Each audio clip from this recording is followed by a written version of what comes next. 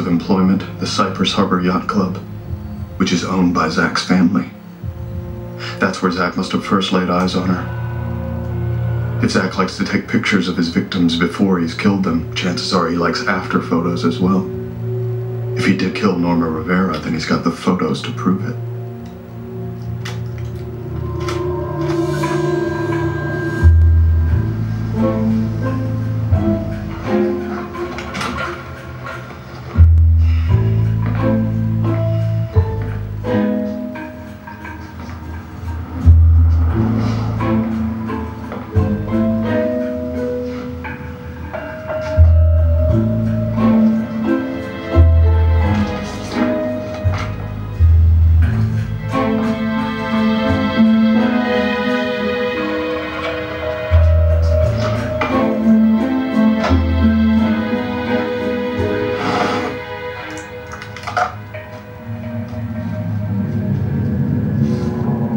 Sophia, probably his next victim.